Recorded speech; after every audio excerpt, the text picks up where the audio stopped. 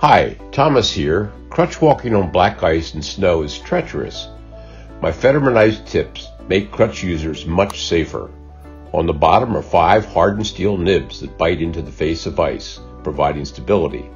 When not in use, the tread piece springs up to rest alongside the crutch tip.